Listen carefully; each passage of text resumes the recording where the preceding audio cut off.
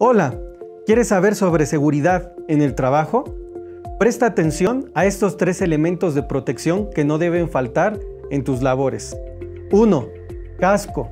El principal objetivo del casco de seguridad es proteger la cabeza de quien lo usa de peligros y golpes mecánicos. 2. Guantes.